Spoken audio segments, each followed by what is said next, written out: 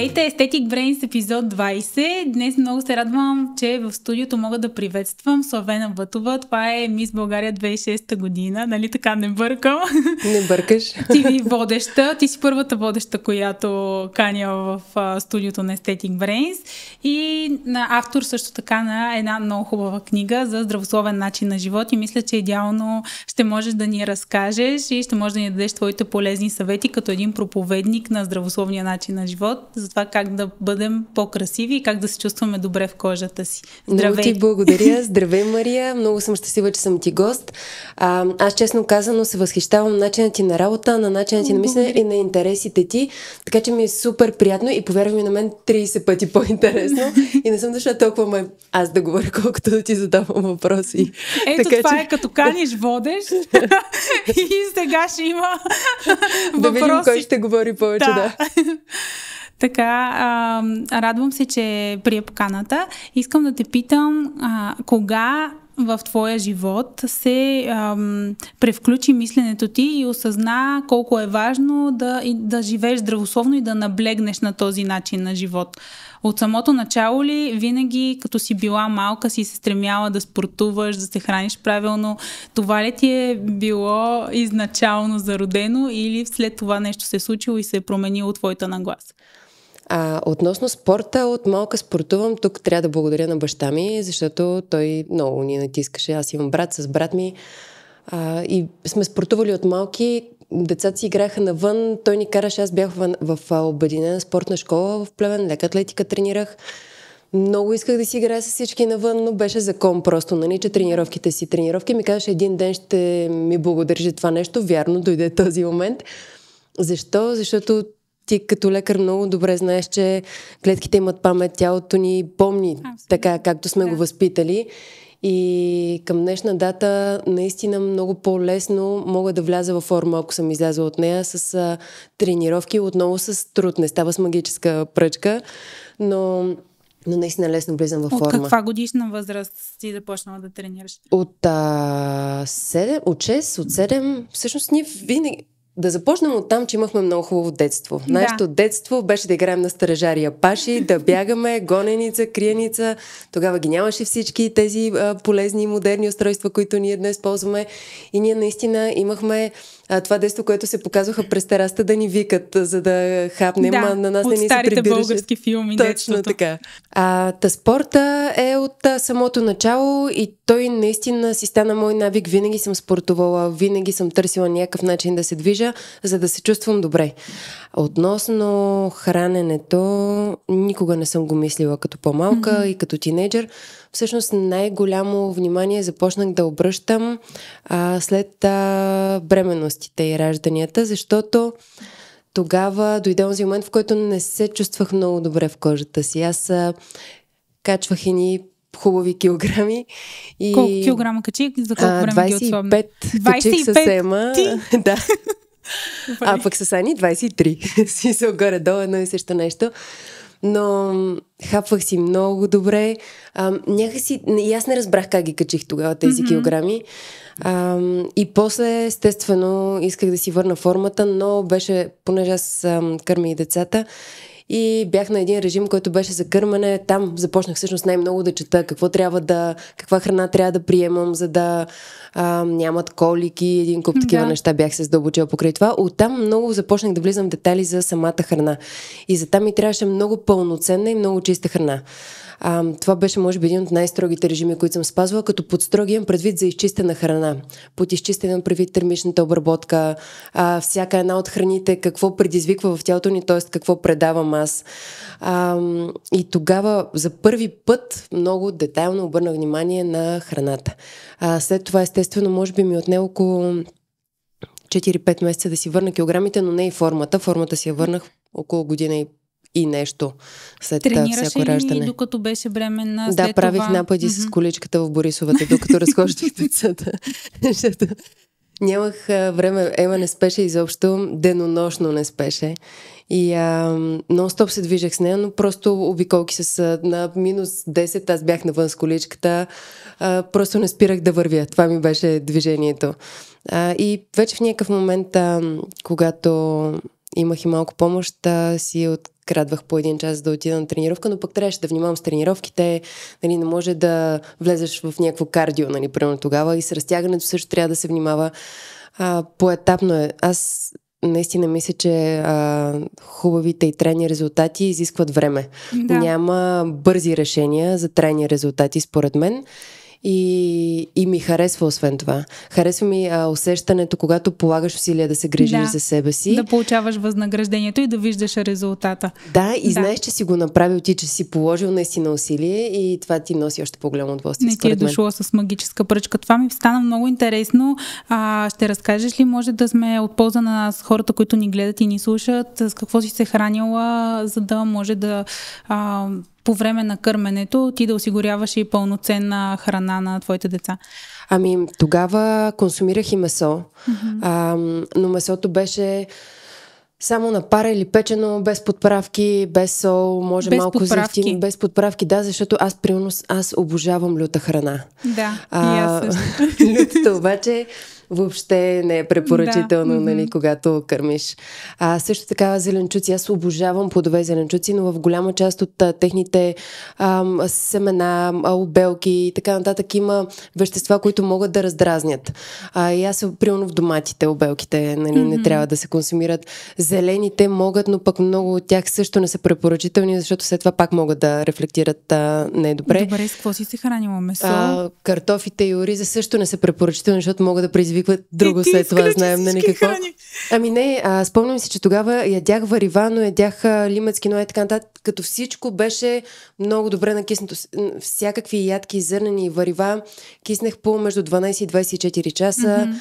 А, след това от месата казах, млечни продукти ядях а, извара. Си спомням, че тогава консумирах а, повече всъщност млечните кисело мляко. Извара mm-hmm. кисело мляко и сирене, нали, но изварата беше така издигната в култ. Чушки също, в смисъл пълни чушки, примерно с яйце и сирене, но пак Киноа, казвам, избягвайки неща. подправките. А, така че а, месо, млечни, а, яйца, риба, зеленчуци подвено много внимателно като отворим в интернет, пише всеки един от тях какво може да предизвика, до какво може да доведе и така нататък.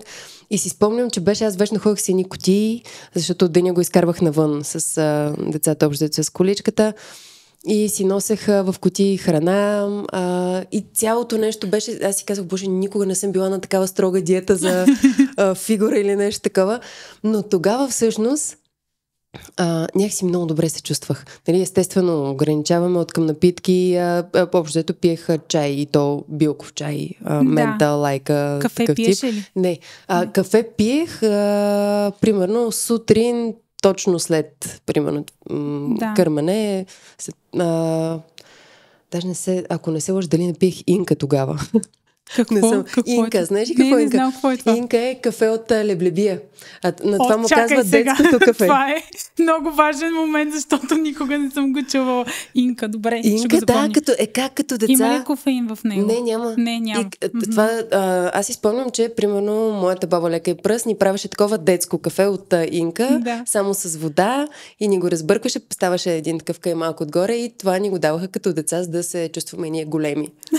Защото много, нали, като сме деца, много искаме да сме големи, после като сме големи искаме така повече да приличаме на деца. И се връщаме към инката. да, и се връщаме точно. да. Значи, върнем ли си към инката е показател, че вървим в една друга посока. Добре, значи не, консумирала си само плодове, зелен, по-малко не, степен плодове. много, много богат разнообразие от храна. Да. Mm-hmm. И месо, и млечни, а, и варива, и плодове, и зеленчуци, но всичко през а, много деликатна обработка а, трябваше да бъде. Даже тогава. Какво означава деликатна обработка? Да си киснеш а, там а, Ами суровата храна, примерно, не е поле... В смисъл не е препоръчителна голяма част от суровата mm-hmm. храна. Трябва да ми е някаква термична обработка, но не трябва да е пържено, не трябва да е панирано, нали, пък въобще. Да, да. А, за по принцип за а, варива, тези а, зърнените ядките, то и да не си на такъв режим е хубаво, да. ако може да си създадем навика да ги накисваме. Като този Дори навик... ядките ли да. сега ги накисваш? Сега, Бъдем и такива честно неща. казвам, вече не съм толкова, когато се сетя, да. примерно, знам утре какво ще готвя, слагам си го тази вечер във вода mm-hmm. и то даже е препоръчително как беше при бобовите, трябва да е топла вода. В топла вода са накиснати, а пък варива и ядки могат да са в а, хладка вода. Значи аз нощи накиснах един боб мунк в студена вода. Сега какво ще стане, не знам. Какво Нищо ще сготвя да за вечер. Пак е, пак е хубаво. Не, виж, знаеш ли, а, когато започнеш да четеш, да се интересуваш, то става все по-интересно, защото да, има да, много е. информация. Е. Абсолютно. Сега, честно казано, не може а, всичко да е приложимо, защото някакси ежедневието ти трябва много да го подчиниш, трябва само за това да живееш. Аз в момента съм на етап, в който някакси лесно ги преминавам нещата и да не съм направила нещо, което знам, че по принцип е полезно така да се mm-hmm. направи, ми е все тая. Да, да. Над нещата вече си ги... Да, не слагам ти... като някаква тежест, като ангажимент, mm-hmm. а по-скоро като вече си ми е ежедневие. Наистина е такъв ритъм. Аз а, винаги имам, например, котия сварена киноа в хладилника. Защото да. това ми е най-бързата Това е другото, храна. което исках да те попитам, обаче чакай сега преди това да почнем от прелюдията. Ти написа една много хубава книга Хапки щастие. Първо, защо реши така да я заглавиш Хапки щастие? Щастието на хапки ли трябва да идва или трябва да го вземем като едно такова огромно и да се метнем в него? Аз да съм го на мнение, цялото. че трябва да си го изяждаме, трябва да си го създаваме, трябва да му се радваме, да го оценяваме, да, да се стараем, за да го постигаме. А, нямам идея всъщност, ако трябва да съм честна, а, редакторката, с която mm-hmm. писахме книгата, защото аз имах съвсем други а, идеи за заглавия, които обаче на английски естествено звучаха много mm-hmm. добре, на български въобще не. И един ден в разговор с нея по телефона а, ни хрумна това нещо. Нещо си говорихме, не знам как изкочи. А, Книгата, всъщност, тя не е. Тя, аз си споделих просто любими мои рецепти. Не е. Понеже много често а, мен в социалните мрежи ме следват предимно дами. Да. А, и много често въпросите към мен са Словена, може ли да споделиш как се храниш, а може да споделиш как спортуваш. Аз не съм професионалист нито в едното, нито в другото. Mm-hmm. Аз съм най-обикновен любител, да. който в търсене на начини да се почувствам наистина добре аз в кожата си, съм си открила. И тук е много важно да подчертая, че тези начини се менят през годините. Както казах, ето, примерно, преди съм консумирала много месо, а, млечни и така нататък. През последните години а, месото съм го изключила, млечните на 99,9% също а, и се чувствам страхотно. Mm. Преди години, точно след ражданията, между другото, отваряйки очите си сутрин, аз имах нужда да а, консумирам въглехидрат някакъв. Mm-hmm. И много, тогава си спомням, че си държах даже едни обикновени бисквити на нощното шкафче. Прилушаваше ми буквално. Събуждах си, имах нужда а, филийка хляб, една бисквита, нещо такова. Докато сега, през последните години, примерно, ако закусвам сутрин, нямам никаква енергия след като закуся. Ако хапна нещо, просто ми се доспива пак, започва да ме мързи и сега примерно фаствам да, през последните две години. правиш ли интермитентен фастинг? Да. На колко време? Ами, събирам и се, примерно аз вечер зависи пак от сезона, но вечерята се ме приключва примерно към 10 часа най-късно и на следващия ден първото ми хранене е към 2-3, mm-hmm. може и 4 да стане според зависи дали съм в движение, но пък а, не ми е чак толкова чисто фастването, защото пиеш кафе. Пия кафе, да. чай, фреш от целина. Фреш от целина, да. И... Един а, мой приятел ми спомена за фреш от целина и аз също като го почнах забелязах много голяма разлика в кожата ми, но чистия фреш от целина вече аз съм го пила сигурно месец и половина само чист фреш от целина, вече не ми понася и си добавям ябълка, кео, някакви такива зелени неща. Аз го обожавам с лайм и магданоз. Да, Това така ли? Е... Още пробвам тази много рецепта. Много ми е вкусно, да, по-свеж свежо е, малко по-кисел остава, но особено ако го пиеш сутрин не е супер свежо и ми е много приятно. Но знам, че ако а, го пием на гладно, е хубаво да си е чисто селари, ако е нагладно. Ако го пия вече след кафе или нещо друго, си го смесвам с а, лайм и магданоз, но най-препоръчително, ако е нагладно, да е чисто. Да. А, кога започваш храненето през деня? 2-3 часа? Два-три часа, може би това ми е през последните две години, но а, пак казвам, а, аз много често, често, примерно два пъти в годината си правя изследвания. през деня, обяд и вечеря, т.е. някакъв долу... брънч там след обеден и вечеря. Да, и понеже аз много често се шегувам, че живея в колата, защото винаги съм в движение и в колата наистина съм си го изградила, т.е. навеки имам ядки, в... имам а, сурови барчета и бомбони, имам такива неща, които да ми ядат енергия, за да не се тъпча с букулци, да. към които, между другото, съм много щастлива, че се научих и то, това пак го постигнах след а, появата на децата в стремежа си към тях да давам по-хубава И да бъдеш храна. по-организирана и да пестиш време като майка. Научих се mm-hmm. точно да си поддържам да имам накиснати някакви неща, винаги заредено с плодове и зеленчуци. За децата, примерно, аз много държа тяхната храна да е пълноценна, като тяхното меню включва и месо, и млечни яйца, но всичко трябва да е аз предпоч... обръщам внимание на да не използвам много мазнина. Също така ми е важно коя може да се нагрява, коя не е. А, не, че като излезем навън и не сядаме в ресторанта и там нямам идея, примерно, точно как е приготвено. Опитваме се да бъде хубаво. Но в същото време пък, примерно, когато отидем на, не знам, на пикник, на детски рожден ден. Там няма как да, да контролираме нали, тези Дали процеси. Дали е сготвено в ги или не. Да, ами не е. Обикновено не е. Нали? Като отидем на кино, пуганките миришат на нещо, което направо не знам защо ги правят с маргарини и такива неща, нали, все още към днешна дата. Но а, да, не са в. А, не сме в някаква изолирана среда. Просто доколкото зависи от мен това, което вкъщи се консумира, се опитвам да бъде а, хубава храна и пълноценна. Както за тях, така и и за нас вече, който каквото си е избрал в ежедневието като меню. Искаш ли с написването на книгата ти да предадеш някаква хапка щастие от Славена, която всеки да може да си приготви в вкъщи в кухнята и да може да го стимулираш по този начин, да се замисли за храната, която консумира и да му създадеш някакъв по-здравословен навик малък през деня. Това ли ти беше идеята? Идеята ми, честно казано, защото аз книгата написах в един период, в който въобще не ми беше добре. Говоря, нали знаеш, имаш месеци, в които потъваш. Да, да не си окей, okay, трябва ти някаква мотивация. А, аз съм от хората, които се самомотивират. Не знам как да кажа. За мен е важно да стана, да спортувам. Винаги ще си намеря нещо хубаво, но все пак в един момент се изчерпваш. Да, Депата са празни. Губиш.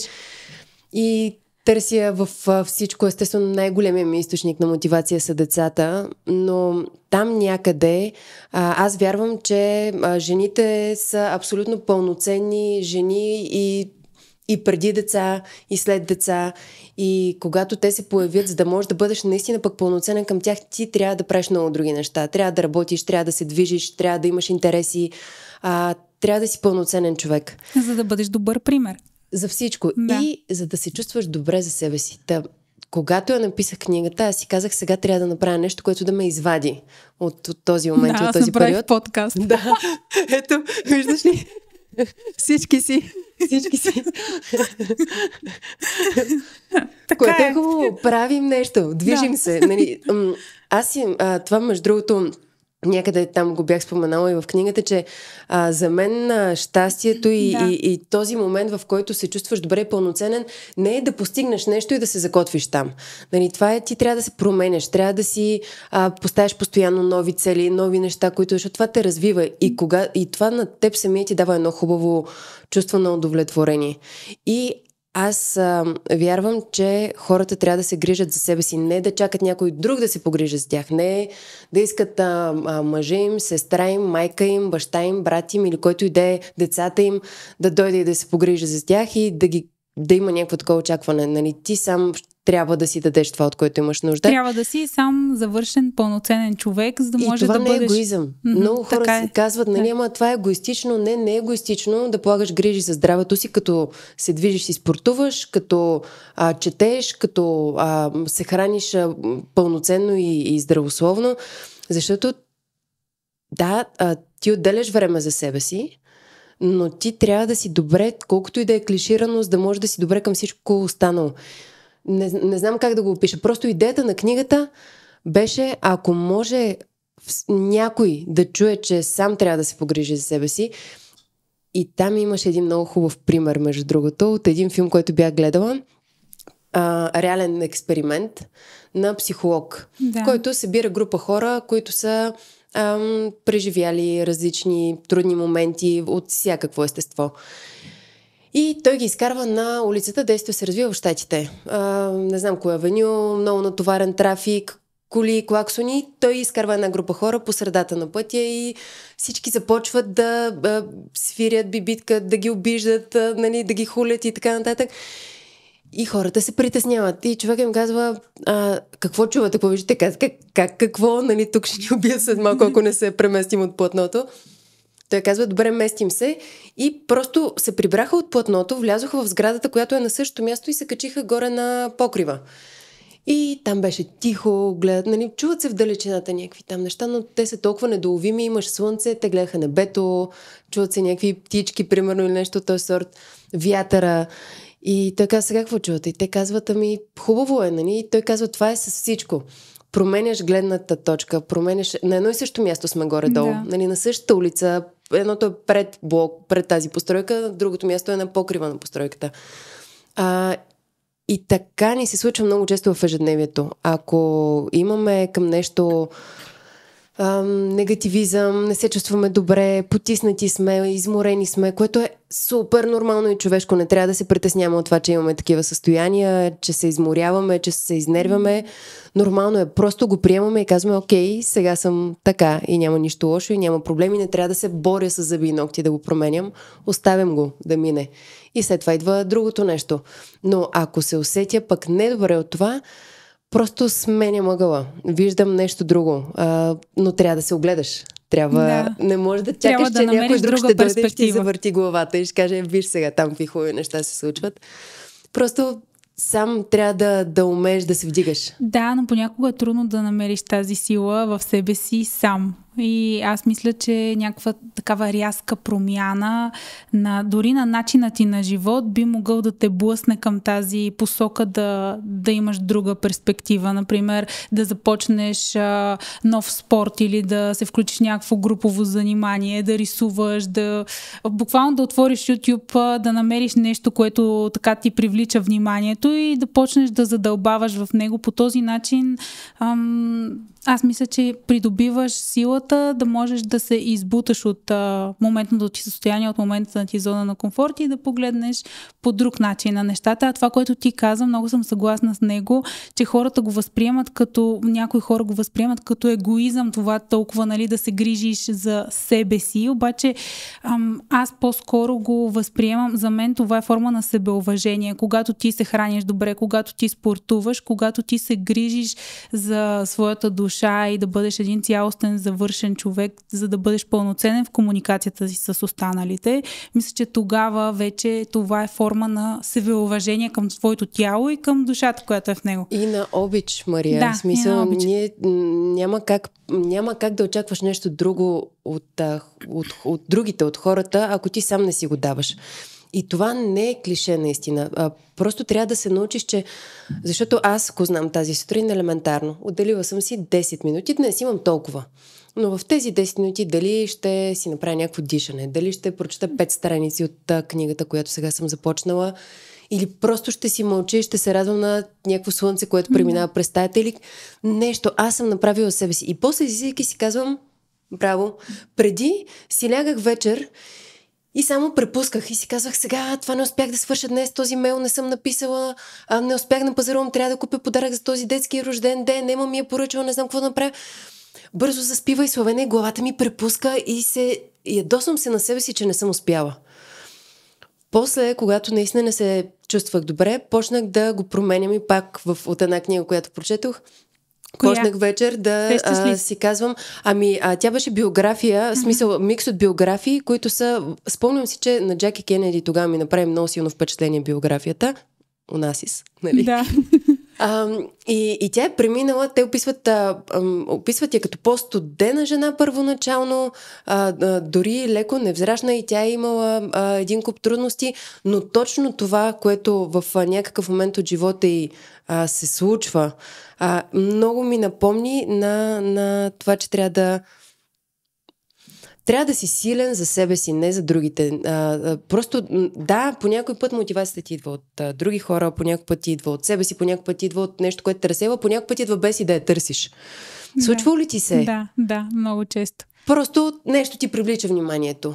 А, почваш да скачаш в, а, в, в, не знам, в някакви мисли и тогава, когато аз бях започнала да скачам в мислите на недоволство към себе си, и попаднах на това, което тя всъщност беше започнала да се чувства много полезна, въпреки че не се чувстваше добре от много неща.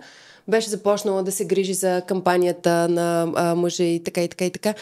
И а, вечер, когато заспиваш, нали, там не е описано по този начин, но аз така си го разтълкувах после, че вместо да си недоволен от себе си, може да си кажеш браво, Славена, днес за някакви дори елементарни неща. Да. Да благодариш. На пазарува. Да. Отдели време да си играеш с децата. Да. Написахте някакви домашни. Да. Свърши си работа, снима нещо. Нали така. Хубави неща свърши днес. Утре още по-хубави. Нали? Просто чувстваш се добре от това, което си свършил. Не се постоянно наказваш, не се постоянно буташ в... Въпреки, че го има и състезателното, нали, в, със себе си, нали, трябва да е по-добре. Мога повече. Още, нали, трябва да постигам, да. трябва да се развивам. Но някъде там търсиш. Абе, винаги като търсиш, м- попадаш на неща, които те зареждат и които... Най-опасното нещо, всъщност, според мен е нашия мозък и нашия начин на мислене, защото той както може да ни вдигне и много да ни мотивира, така може и да ни потисне.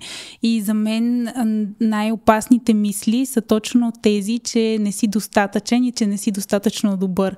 Нали, това, което, а, например, мен понякога ме потиска, че тези мисли, когато влезнат в главата ми, че че не съм достатъчно добра в това, което правя, че а, нали, изглеждам послед, посредствена, че има още какво да науча, че мога да бъда по-добра жена, че мога да бъда по-добра дъщеря и така нататък. Тези неща потискат доста и наистина това да може а, ти по някакъв начин да релаксираш съзнанието си, да може да си кажеш спри сега. Нека да се фокусираме върху позитивните неща, нека да се фокусираме върху това, което ти си постигнал до този момент, върху бъди благодарен.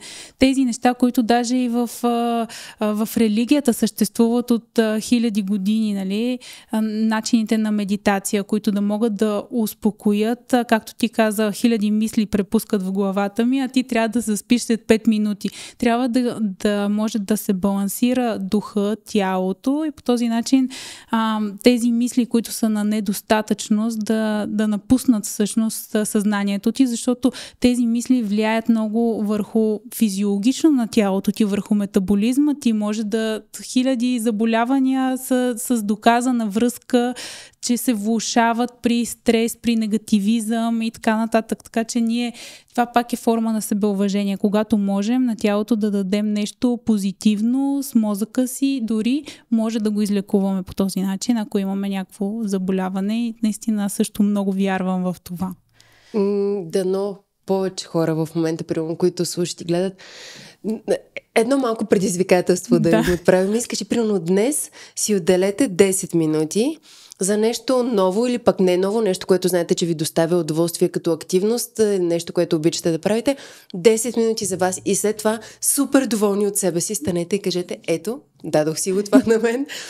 Просто е хубаво, нали, чувството наистина на на благодарност. Аз а, бях ходила на едни а, а, класове, които пак бяха а, медитация. Три дни ходихме. Едно от упражненията, които а, ни дадох още първия ден да направим, mm-hmm. е, беше да излезем на улицата и да направим нещо спонтанно добро на непознат човек. Да. И аз реших, че а, всъщност идеята ми я даде е, един от а, учителите, да ги наречем, а, и той ми каза, че а, когато е започвал, първото нещо, което е направил е да хвърли монети на улицата.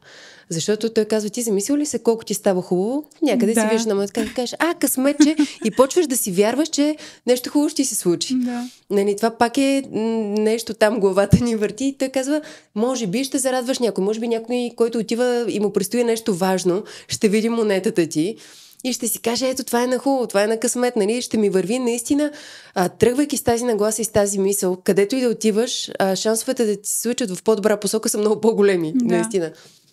И от там нататък аз си изградих един такъв навик, който си казах всеки ден ще правя нещо, което ам, безпристрастно така просто да, ако мога да накарам някой да се усмихне, колкото и да звучи да клиширано. Да, просто е така, дистанционно, без някой да те а, забелязва, не е да отиваш на някой, нали, нещо да правиш, но ако можеш нещо да направиш. Ам... Ти е трябвало да станеш лекар.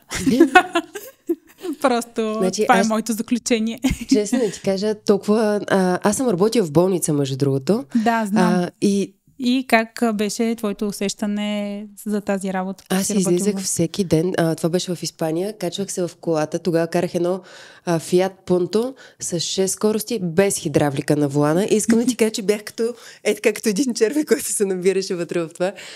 Излизах всеки ден. Смяната ми беше от 6.30 сутринта до 1.30 на обяд. Бях толкова щастлива и благодарна, че съм здрава, че са ми здрави близките, че всички сме добре. Гледах ги хората как се заяждат в задръствания, в трафик, нали, нещо такова. И си казах, защо бе хора си пилете времето? Просто толкова беше отрезвяващо това нещо. Да... Аз работех като преводач и работата ми беше да обикалям сутрин, когато, примерно, има визитация на лекарите. И попадах на толкова различни случаи, съдби, истински човешки да. на, на, на хора, които се случват.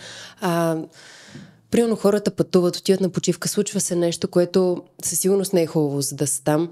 А, как реагират, как им се променят животите, съдбите и всичко останало. Наистина, вашата професия а, е нещо за мен изключително трудно, бих могла да кажа със сигурност, защото а, и, и, и нещо, не знам, безкрайно добро и въобще лекарите и всички хора, които се занимават с медицина под каквато и да е форма, които допринасят за това да сме здрави, да, да можем да преодолеем някакви проблеми.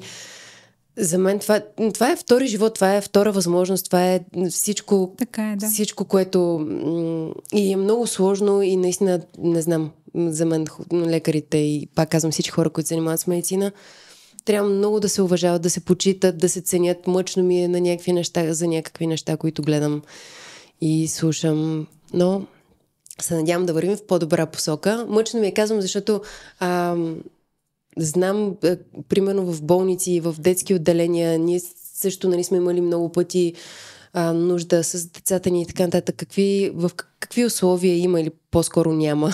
Да. А, как не са много често добре мотивирани хората, за да могат наистина да живеят от това и да, да са... А, то винаги са си старателен, примерно, в тази професия, но може Аз да мисля, бъдеш много по-добре много... оценен специално лекарите в България, защото съм имала възможността да уча с хора, които са се развили в момента, даже са на върха на професиите си, мои колеги. Знам през какво преминава един човек, за да стане лекар, знам цялата отдаденост, която е необходима. И мисля, че наистина всички лекари в България са много стойностни, не заслужава да ги губим, да заминават в чужбина, да работят, заслужават наистина да останат тук и да се грижат за по най-добрия начин, защото аз мисля, че лекарите в България са изключително а, много по-квалифицирани, много по-умни, отколкото много повече западни лекари. Аз имам страшно много, нали, моя, аз, моята професия не е да спасявам човешки животи, но въпреки това а, имам много пациенти, които идват от а, целия свят, от Австралия, от Штатите, от цяла Европа и казват, аз там не мога да намеря това, което има във вашата клиника по същия начин, не мога да намеря това отношение, не мога да, да намеря тази връзка с лекар с пациент, не мога да го намеря. Това като здравно обслужване. И затова се връщам тук, затова се връщам в България, както много хора от целия свят пътуват, за да се върнат в България, да получат някаква форма на здравна грижа. По този начин а, много бих искала и лекарите да може да останат в България, да не пътуват по целия свят и всички хора, които искат да имат достъп до, до такава грижа, да се връщат тук. Това е, би било Да могат да оптимално. го правят. Да. Ами да си го пожелаем, дано. Да. А, кажи ми твоите етапи, през а, които си минала в спортуването. Започнала си с лека атлетика, ти каза преди малко. Сега какво спортуваш и какви различни спортове си пробвала и кое ти е допаднало най-много? Започнах с лека атлетика, да, много ми харесваше, честно казано. Там бяха... Спринтове или Спринтове маратон? 60-100 метра. А, аз съм определено много по-лесно ми е, когато има някаква ексклюзивност в движението. Mm-hmm. И трябва да е, примерно, много повторения за кратко време нещо трябва да направя. Аз мога да скачам, мога да ни... Ако ме накараш обаче да стоя бавно, дълго и продължително в една поза, там умирам. И това е свързано и с характера ми. На мен са ми трудни тези статичните, бавните неща, това, което казват заземяването. Да. А, и аз за това през последните години пък обръщам повече внимание на него. Преди ходех само на табата, хит тренировки. Аз много обичам класове и примерно от 6 или 7 години ходя на едно и също място, което обожавам тези хора. Аз там всъщност започнах след бременностите да се възстановявам. Много ми харесва енергията там на хората. Там е място, където поне първото им място, те вече много се развиха. А, но там, където аз ходя, няма едно огледало. Вътре Кажи, хората влизат, за да, да спортуват. Вайбс. Vibes, в Vibes. Да. В Vibes ходя. А, и много ми харесват треньорите, хората, които идват всеки влезе за един час, спортува, става и си тръгва, няма, няма излишни приказки, е няма огледала, няма суета. А, много хубава енергия, наистина. Та, много обичам тези класове и преди бяха само интензивни тренировки, а, хит, табата, а, ако може да скачам, да бягам, нали, това ми беше и се чувствах много добре, обаче такава като пренавита пружина постоянно. Да. И в един момент не знам кой ме посъветва и ми казва, Словена, ти малко трябва да успокоиш нещата. И отидох на йога и преди колко време? ми хареса.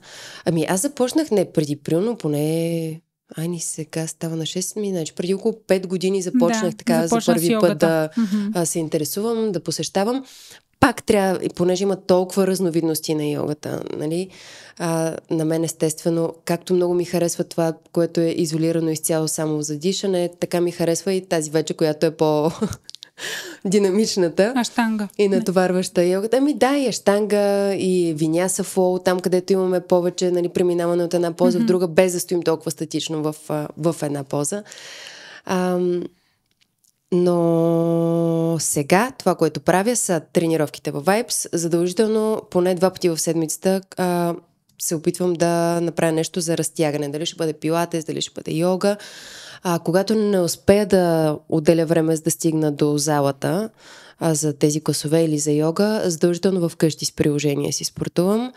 А, като там има много удобни тренировки, защото те са за 15-20 минути. Какво ти, значи, много се ядосвам някой, като кажем, ми аз нямам време. Да, значи, имаш 20 минути да си роиш телефона, нали? обаче не можеш тези 20 минути да ги замениш с, с това нещо. Наистина в YouTube е пълно с тренировки за вкъщи, с домашни тренировки. За които не ти трябва нито уреди, нито някаква специална екипировка. В смисъл, една постелка е хубаво да имаме, нали? Да. но може и без нея, в крайна сметка, и такива а, тренировки има. Така че от нас и зависи да го направим за себе си, да. не от нещо друго или от някой Всеки друг. ден ли спортуваш и всеки ден ли намираш време за някаква физическа активност? Крачките правиш ли си ги 10 хиляди? Не, не броя. Не. Значи никога не съм смятала калории, не съм броила крачки, не ползвам кантар. Да. а, нали, затова тези хора, като бяха бременна и като ходих, и винаги много държаха да ме теглят.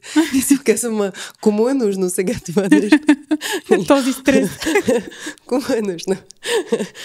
Но нямам, не ползвам и даже ми е смешно, понеже много пъти покрай работа ми ми искат мерки, например. И аз вкъщи имам една рулетка, която е метална, нали, да. с която там нещо покрай... Работна, нещо, за ремонт. Тя е за ремонти. И аз много често си взимам мерки, защото бързо трябва да изпратя нещо, докато съм на телефона и с тази рулетка какво успявам да се премеря, нали, там, примерно но не броя, не съм в а, трябва да се ми толкова... Да. Така ми е по-лесно, така, това е моят начин. Сек... Аз си мисля, че всеки си открива неговия. Някои mm-hmm. хора са много по-дисциплинирани и успяват да спазват нещо, ако са стрикно по котийки, по грамажи и така нататък. А, аз не мога да съм така. Това ме турмози, напрягаме и не ми е приятно. Та, поне веднъж в седмицата се старая да съм някъде в природата. Тук много обичам да се качвам до Боянския водопад. И дълго време го правех сама, докато приятели ми казаха, Словена, ти луда ли си? Да. Нали? Аз се чувствам супер да спортувам сама, да се движа сама, да не ми говорят излишно, пък в природата обожавам. И понеже там се катери успоредно точно покрай водопада, където е малко по-стръмно и нямам въздух да говоря така или иначе, с който и да е било. А, и ходех сама дълго време, но после така малко а, а, страхове се появиха и си казах, добре, може би не е разумно.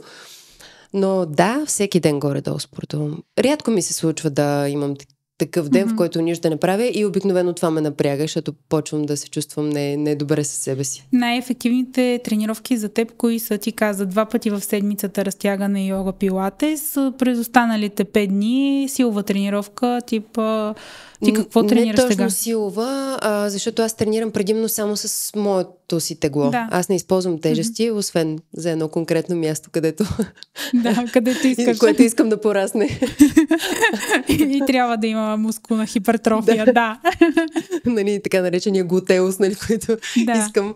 Но иначе си тренирам само със собствена тежест и то е малко като физ зарядка. Mm-hmm. Класовете, които посещавам са предимно бърпита, скокове, коремни преси, а, но са така на интервал от време, по-интензивно. А, та, това е моята формула. Аз от това да. се чувствам добре. А, харесва ми как, как се чувствам, Сутрин как се усещам. Сутрин. Сутрин. Нагладно. Сутрин нагладно, задължително. Mm-hmm. Да, смисъл пия кафе, примерно. Да. Или... Но много често и само вода съм пил. Аз златно правил с отварянето на очите. Даже може още да не съм ги отворила. Топла вода ли ще кажеш? Не е топла. Ето, е, е така, взимам си едно да. шенце вечер, слагам си го не до главата, защото нали, водата помни.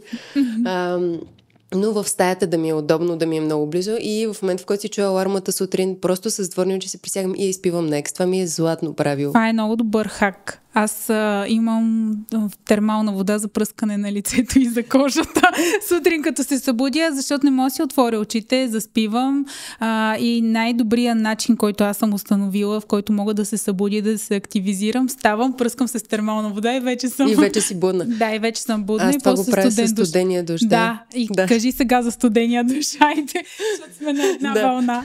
Ами студения душ се Сутрин научих... се будиш с студен душ. Да, задължително като започнах обаче, понеже аз бях от хората, които обичаха тези дълги, продължителни, топли душове, в които губя и време, губя и енергия и ресурси, хабия въобще. И после се чувстваш скапан, и изморен един... да. Като, като медуза. да. нали, от банята. А, студения душ започнах малко по малко да намалявам температурата. То така или иначе тази вода, която стига до нас през душа, не е толкова студена. Mm-hmm. Не, да. А, така че, може би за месеци нещо успях вече от самото начало да си завъртам до край на студено, но започнах от а, ходилата, малко по малко нали, да вдигам студената вода нагоре. И Косата къпеше ли с студена вода? А, вече да, да, вече да, нали, може би от няколко месеца успях това да го правя, но всичко пак казваме по-етапно и малко по малко, защото мои приятели ми казват как може да влезеш и да пуснеш тази студена вода. Това пак е изграждане на навик, нали, но самото усещане, което ти като лекар със сигурност ще го обясниш много по-добре, когато, нали, примерно на много хора им се е случвало, ако някъде, примерно, някой ги полез вода, нали, нещо такова, как автоматично реакцията ти е да си поемаш дълбоко въздух. Нали, този кислород, който нали, аз съм чела, че той всъщност а, много помага за а, а, по-доброто протичане на процесите в тялото, преноса на... Да, забързва се метаболизма, въобще да, излагането на студ има, да, забързва се микроциркулацията, по този начин хранителни вещества могат да стигнат и до кожата, където, примерно, ако сте стинали крайниците, аз започнах студени душове всъщност, защото има много студени ръце и крака ръка и крайниците са ми студени, да. Обаче с а, студения душ по този начин ти, това е един мини стресиращ фактор. Шок, Шок за, тялото. за тялото. Да, хубаво е да може, за да може да бъдем по-адаптивни в а, околна среда, която иска да ни съсипе. да. да си създаваме едни сами такива предизвикателства и шокове за тялото, което да ни направи по-устойчиви. Хормон на растежа се отделя, кожата ни става по-хубава с студените душове а, включително и антидепресантно действат, защото когато имам, както казах, негативни мисли, че не съм достатъчно добра и така нататък, като влезеш в, под един студен душ, повярвай ми, нямаш негативна мисъл, че не си достатъчно добър, а просто трепериш и мислиш за, за нищо и за това как тялото ти в момента трябва да терморегулира, да се активизира кафявата масна тъкан, която ние губим, метаболизмът и да се забърза, за да може да се съхрани А тя кафявата мазнина се превръща в бяла или обратно беше бялата не, в кафява? Не, кафявата имаме като бебе душовете, те, тя се губи с а, течение на... Тя има хубава термопротективна функция, тя се губи а, с а, възрастта и се замества от висцерална масна тъкан, която е метаболитно активна и е по-опасна, защото е предпоставка за развитие на диабет и така нататък а, и на други метаболитни заболявания. Да не използвам думата така нататък като лекара, да покажа, че да, имам експертизата. Има, да. да, че имах такава забележка направената. Други метаболитни заболявания, захарен диабет, кръвно, инсулинова резистентност. И хубаво, точно студените душове показва, че а, има повишаване на кафявата маса тъкан, която всъщност ни пази. И така. И много ето са още хубави. една полза, много, да. От... Много, на мен, за мен са живото спасяващи. Наистина, аз даже И се има... събуждаш и си да. тонизиран, излизаш с енергия и си въобще много, много е хубаво. Има и хора, които има и поручвания сега, които са много интересни. Аз ги чета, хора, които имат различна форма на зависимост към субстанции, наркотици, тютюнопушене, които искат да се откажат от тази зависимост, а, почват да правят студени душове. Е много по-лесно, когато имаш някаква зависимост към никотин или към ня... нещо вредно като навик, като застанеш по студената вода, както казах, тогава не мислиш за това нещо.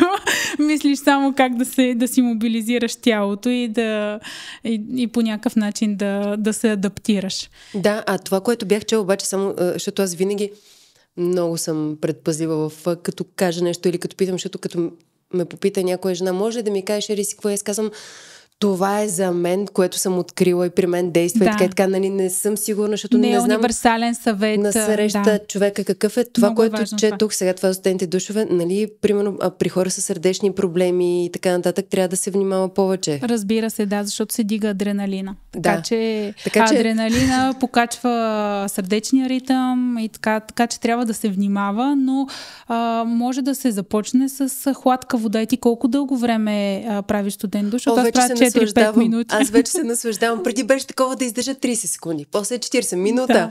Нали, така броя до 60, бавно, по-бавно, брой до 60, не 1, 2, 3, 4, 5, 6. Но вече си влизам, просто си пускам водата. Така или иначе, пак много ми харесва, за мен времето е много ценно нещо. Mm-hmm. И при положение, че сега започва вече и учебната година и а, алармата ми се заковава сутрин на 6 часа и 4 минути, така ми звъни всяка сутрин алармата, освен ако няма нещо извънредно, нали? И аз знам, че всичко ми е така сутрин, а, докато приготвям на децата закуски и кутии, задължително си слагам някаква маска на лицето. Себе си, да. Това е другото, което исках да те питам. Ритуал за красота, който всеки може да си открадне от теб. Какъв ще споделиш? Бърза маска, задължително. Това е, а, докато стоя вкъщи и правя нещо, мога да чета, мога да Шит готвя. маска мога или да... такава замазана? Каквото имам. Каквото имам под ръка, наистина. А, първо, аз честно казано обичам да пробвам май mm-hmm. нови различни неща. Имам такива, които много ми харесват. Имам сега, ето ти като дерматолог ще ми каже, защото много ми е любимо. Някой като ме пита, Славена, кажи какъв крем ползваш. Ами аз имам три шкафа с кремове, защото в различните периоди, в различните сезони, кожата ми е по различен начин, различно чувствителна, различно реагира. По някой път е по-замърсена заради а, честа употреба на грим, която а, имам и в работата ми. А, по някой път, примерно пък сега лятото, пътувала съм а, слънце, въпреки че това е другото, аз винаги съм с 50 фактор на лицето. Mm-hmm. гледам и да го има и в, в, в, в крема, в фондютена, да. в а, серума, в каквото и да използвам, гледам да има фактор. И не винаги успявам да се спася, между другото, от а, пигментации. Не знам как Трябва се да е физична това слънчевата нещо. защита, защото ако е химична, част от слънцето се абсорбира, част от слънчевата енергия, УВА, УВБ, лъчите се абсорбират на повърхността на кожата и се отделят под формата на топлина. Така че специално за лятото аз на всички препоръчвам физична слънчева защита, която съдържа само две съставки цинков оксид, титаниев диоксид те отразяват като щит, като огледало. Просто директно отразяват, никаква абсорбция не се получава на кожата. Това е за мен по-ефективният начин. А запушват ли? Да. Ами ето, защото тази е, слънцезащита, която аз си кам по-тежка, като видя ни по-мазни неща, примерно. Това е по-негативно. И после съм цялата в пъпки. Нали, защото той Не, топло... Тогава решението ти е само цинков оксид, защото пък цинка действа добре на акнеичената кожа и не запушва толкова. Аз си намерих това лято един продукт, който много ми хареса и си Кажи, кой е да си го на Ларош. На Ларош, а, а, Шака Фуида. Да, е, течно, много ми е много приятно, е защото не ми а, запушва да. порите и така нататък. И много ми харесва. Има го с лек цвят, без цвят mm-hmm. и така нататък. И аз си го ползвах това цяло лято и за през деня да си ходи на плаж, да си ходи. Просто много ми хареса този много продукт. Много хубав и аз също много го изписвам на пациенти. Също много харесва. Много добра защита осигурява и е некомедогенен, много лек на кожата. Така, да, че... точно лек ми е. Добре, слагаш си маска сутрин. Какви са другите ти ритуали? Това, което ми каза, че имаш три шкафа с кремове, много съм съгласна, защото кожата ни все пак е адаптивен орган. Тя се адаптира към а, околната среда, е нещо, което непрекъснато се променя. Тя не е константа, не е постоянна и кожата се адаптира към променящите се фактори на околната среда. Един ден е мазна, един ден е суха, един ден е чувствителна на някой, като ми каже какъв ми е типа кожа. Ти не се раждаш с суха кожа и умираш с суха кожа. Ти, ти, ти, тя ти се адаптира през цялото това време и аз също имам тоници за пъпки, за мазна кожа, когато почва да ми се омазнява във връзка с начин начина ми на живот, спорта, дали се храня с нещо вредно и така нататък. Точно така. Да, така че адаптивна е кожата и трябва да имаме абсолютно различен подход и различна рутина. Освен маската сутрин, ти какво използваш? Имаш ли някакви пачове за очи, околочни кремове, нещо, което задължително, независимо, no matter what, в рутината ти присъства? О, това е да вечер, значи, колкото бързам за всичко през деня, вечер 10 минути никой не ме закача, защото аз само си мия лицето и се мажа с 20 стъпки. Не си са те, стават все повече и повече просто. Много обичам да, да си усещам хубаво почистено лицето вечер. Mm-hmm. Това е, никога не си лягам. Няма такова нещо, изморена съм и не съм си измила хубаво лицето. Да. Просто това е закон. Лицето вечер е и си имам, аз много харесвам един уред, който използвам за почистване, просто се чувствам много добре с него форел. и си форел, да. да. С форел как си. хванах. Форел си използвам и след да. това всъщност те имат едни такива а, пак малки апаратчета, им казвам аз, които са и за маски, да. които сега ще излъжа, кажа, че всяка вечер си правя, но те понеже имат а, червена светлина, добре. зелена mm-hmm. светлина, за топлят, Хубави вибрират са. и всичко останало и си ги ползвам и тях. А, задължително си ползвам. Значи от, от очите и от лицето си махам с един продукт грима, после с пяна си измивам и то пяна, защото вече е по-деликатно. Преди използвах скраб, примерно имах, ми беше Вреден по... е вече скраба. Да. Отричат го дерматолозите. Преди го да. харесвахме, сега сме на друга сега вълна. вече, да. И сега самия с пяна да. и с форел уреда. След това уфо, така наречения да. уред. А, след това минавам с тоник. След това почвам а, серум, околочен. А, ако зависи пак в какъв период съм. Дали е лято, дали ме да. дехидратира на кожата, дали съм пила достатъчно вода, с какво се храня, защото пък нали, и храната ни е изключително важна за това как ни е кожата. Между другото, аз... Какво си забелязала, че в храната ти влияе на начина по който кожата ти изглежда, освен фреша от целина?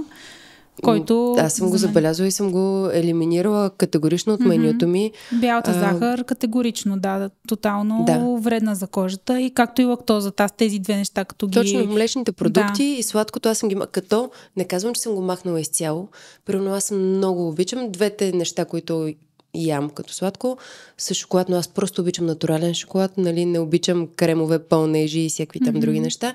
И сладолет. Това ми е на мен слабостта сладоледа. Като пак обаче има вече такова изобилие на вкусове, които са с заместители на млечни продукти.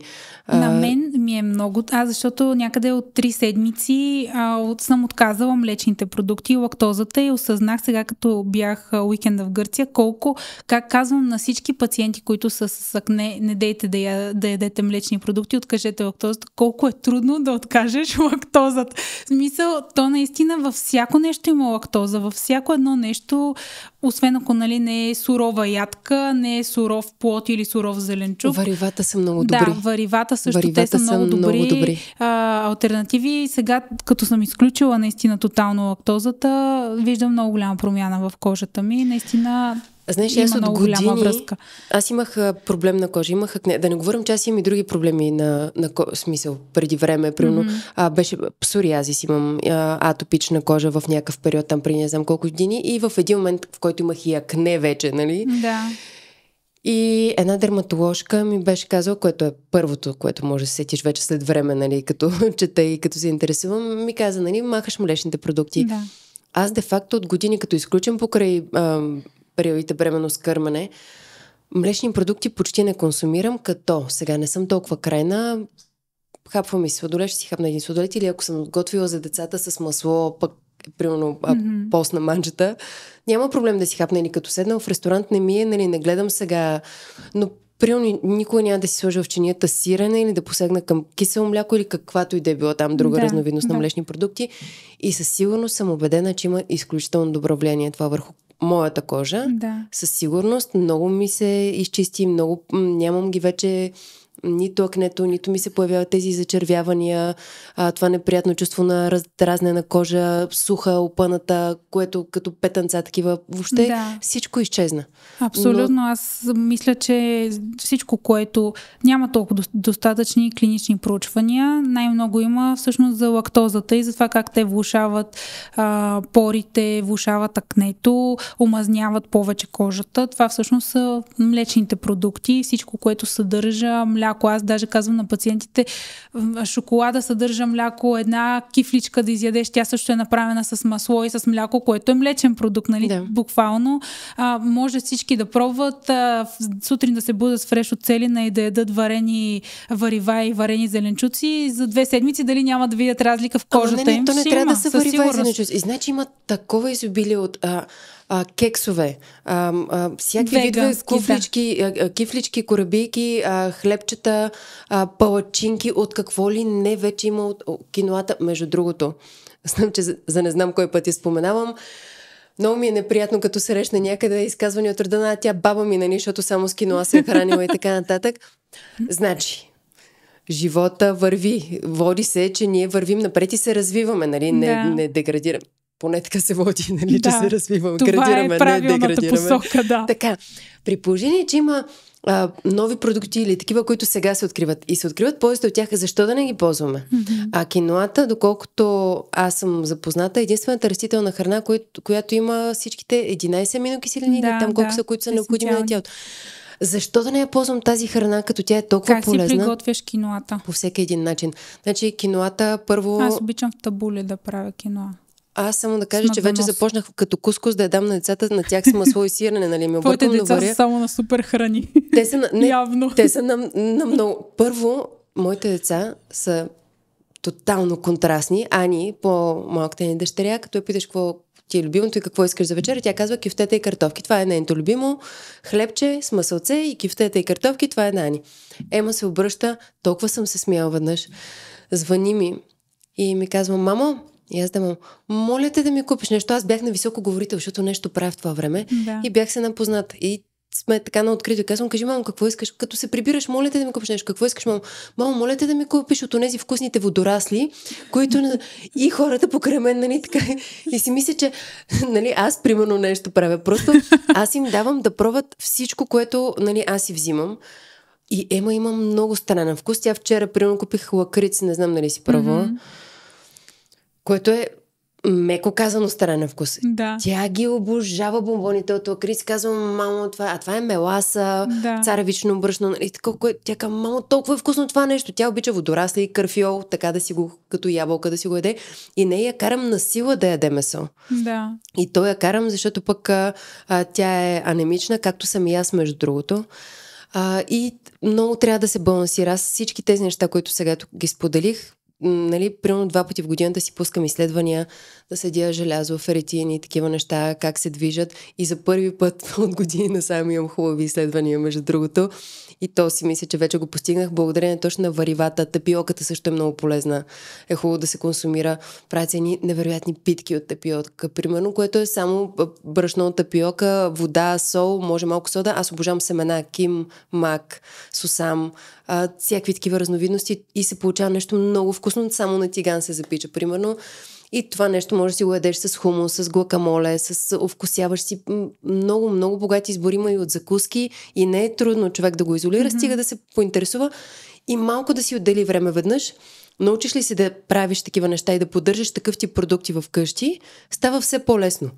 Нали, ако си си заредил и са ти под ръка, защото аз имам приятели, които казват Славена, как се готвеше там това, което го ядохме веднъж във вас? И аз им казвам, а те повечето са и много бързи и лесни, понеже са сурови.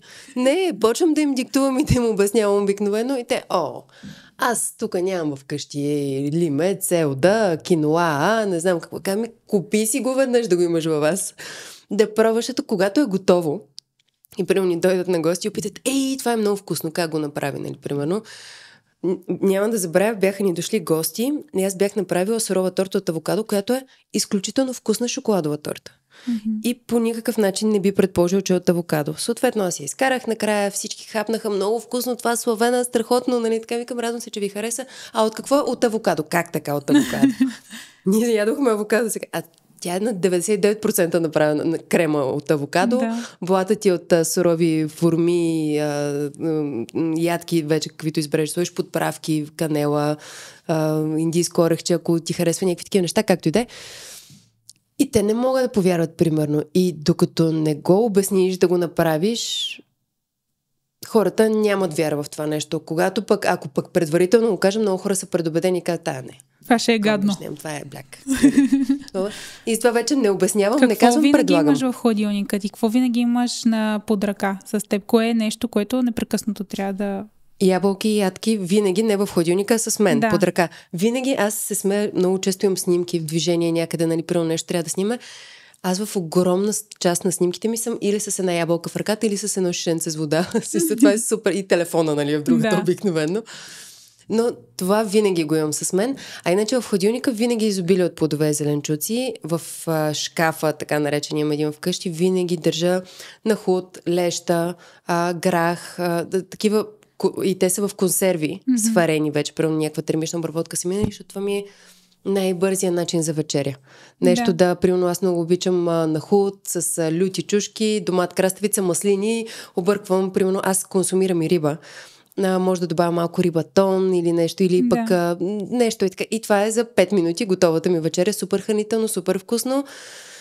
И не ми се налага да готвя отделно и за себе си, защото пък с децата гледам да има нещо сготвено по-течно, да има Да. нали, някаква, да не са на защото те в училище обикновено или като пътуваме или каквото и да е, през по-голяма част от времето през деня си на суха храна. Нали? Може да е сандвич, може да са картофки с а, някакво месо или нещо такова, но по-рядко е готвено и затова се опитвам вкъщи да поддържам готвеното. Но в хладилника, както казах, киноа винаги държа сварена. А, от нея правя и кюфтенца си правя за мен. Сега някой да ни каже не дава на децата. Децата ядат от телешко месо на кюфтета. За желязо, да, задължително. А, но м, цвекло много често си поддържам. А, преди поддържах много соеви продукти а, като заместител. Опитвам Протеин се да ги... А, След тренировка. на моменти много трудно ми беше да открия моя, защото не се чувствах добре от какъвто и да е било протеин. А, докато не попаднах на граховия и мисля, че това е моя протеин в момента, нали, не е животински. А, от другите просто не се чувствах добре. Мгм. Та, това е моя, но не, нямам такъв навик а, след тренировка да пия Да. протеин или нещо такова, ако се сетя някога при нещо. И сега съм си намерила едно много хубаво мляко, ам, което е грахово с ванилия за кафето ми сутрин, което много, защото ам, пиех соево с ванилия, но малко Защо намали прекалявах. с В соята, соята не е Да, за жените не е много препоръчителна. Аз наистина изцяло заместих млечните с а, соеви. Мгм. И просто реших малко да, Да. да се опитам да намеря альтернатива на соевите. А и не знам дали си обръща внимание, в голяма част от а, растителните млека и продукти, които използвам, изп, а, използват много гума. Да. И е много трудно да намеря продукт, който да е така по-изчистен от, а, от такива ставки, защото ние си го, аз си мисля, че взимам някакъв уж по-здравословен вариант, само че не винаги е такъв. Така че а, аз много апелирам към това да се чете хора, четете, отделете си две минути, четете етикетите и, и някъде там, защото аз също не съм разбирала какви са точно mm-hmm. съставките. Няма как да разбереш, докато не прочетеш, нали, не се осведомиш. и гума за сгъстител. Това е баналното във Да. всички. Да. Така че а, има, имаме много богати избори, има вече много альтернативи на всякакви продукти. А, стига човек да има интерес и да иска да се погрижи. Другия мит, който много ми е, а, някой като каже, ама то е много скъпо да се храниш здравословно. Значи аз мога да гарантирам, че а, боб, леща, ориз, грах и така нататък не Да. са по-скъпи от а, килограм, примерно а, а, кремвирши, някакви пакет полуфабрикати или нещо от този сорт. Така е. Да. Нали, а, просто можем да се храним под здравословно и имаме предвид, а, аз започнах малко по малко, нали, примерно а, вече не пържа аз нямам микроволнова вкъщи, mm-hmm. примерно. Ядем пуканки, обаче ги правя в тенджера на котлона. А, да, по-трудно ми е, ако трябва нещо да затопля, защото го топля или в фурната, или на котлона, но нали, и, и с това свикваш някакси, ако, ако трябва да е някаква по-малка порция, примерно. А, не пържа нищо, всичко ми е или печено, или варено, или издушено. Това е здравословното. Не е а, да си купуваш а, скъпи продукти, mm-hmm. а да пиеш повече вода, да вместо да пържиш, да печеш и да вариш, а, да вкараш повече варива, ядки, плодове, зеленчуци. Ти автоматично, вкарвайки ги в а, ежедневната ти консумация, тялото ти започва да няма нужда от а, да се блъскаш постоянно с някакви такива бързи неща. Да, тялото усеща кое е правилно за него и ние, точно това е удивителното на човешкото тяло и въобще на организма, че той има способността да регенерира, колкото и да се опитваме да го съсипваме ние. Да. и успяваме често. Успяваме, да, да го съсипем, но когато му дадем всичко, от което той има нужда и създадем правилните условия, то си знае работата и регенерира. Точно така. И само да добавя, защото пък имам познати, които така се очудват. Бяхме правили един здравословен уикенд на в едно мое много любимо място и различни дами от различни краища на България си бяха записали, за да изкараме един уикенд заедно, да се храним както се храня аз, да спортуваме заедно, нали, с тренировки, да. които правя и така нататък.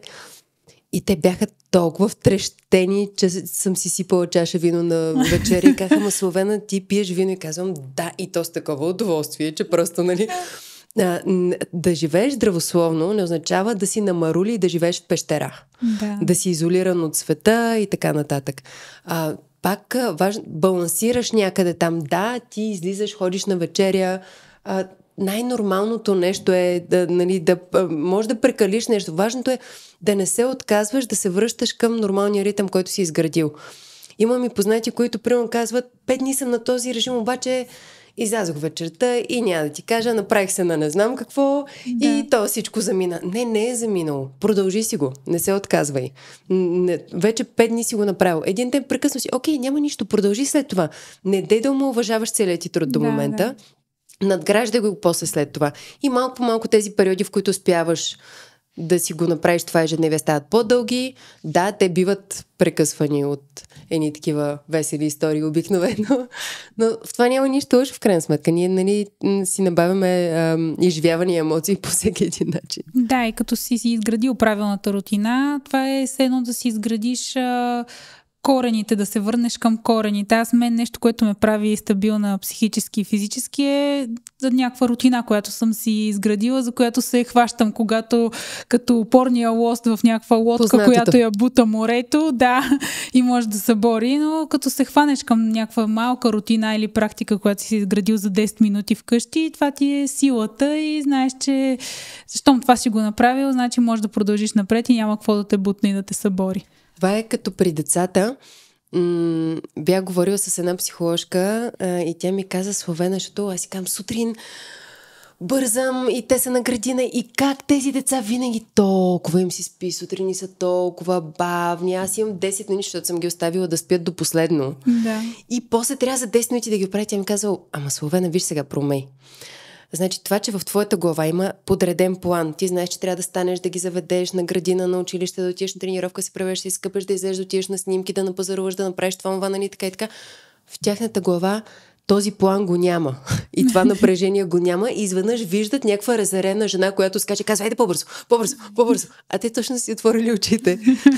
казват, най-вероятно ми изглеждаш нали, малко налудничево на децата. Така че, не нали, стига с това твой бързник. Ако искаш да е така, будиш ги по-рано. Нали, трябва да им дадеш време да се разсънят, да им обясниш, но те пак нямат този план.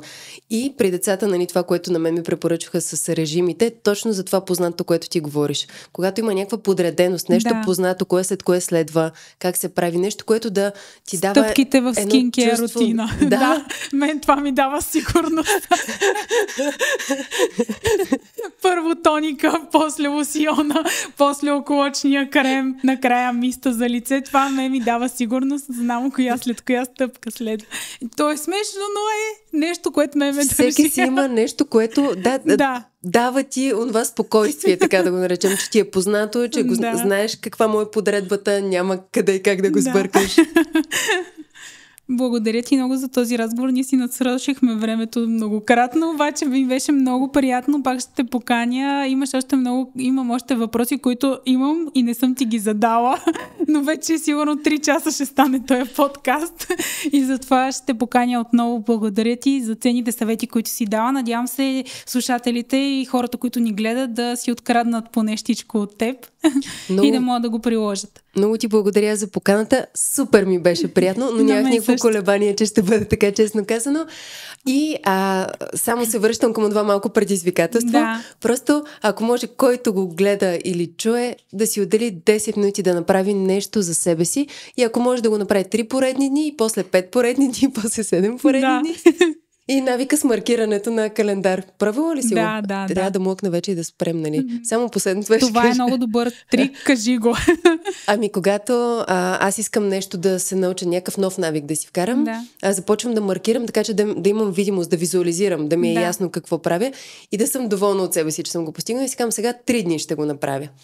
И три поредни си казвам, какво е това? Нищо, три дни. Смисъл, това е бебешка ще успя, работа, бебешка да. работа. Успявам три, си казвам, добре, още два Успявам два, после още два, седем и така малко-малко си дигам и вече като вече една седмица имам тикчета, които съм си маркирала, да. че съм успяла и си казвам, добре, успяла съм толкова, ще си го направя още толкова, нали, докато не постигна максимум от това, което съм си сложила като таргет, защото ако изначално си кажеш сега 21 дни ще правя това, някакси главата ми не го възприема. Да, много да. време ми се струва, много са изкушенията или нещата, които ще възпрепятстват, примерно, да успея да го направя това нещо. И затова на порции си го сервирам и маркирам, за да визуално да възприемам, че съм успяла. Много хубаво последно послание, което съм сигурна, че по-голямата част от хората ще изпробват и ще се убедят в ефективността. Благодаря ти пак. И аз много благодаря. Много здраве и много грижа и любов към себе си за всички.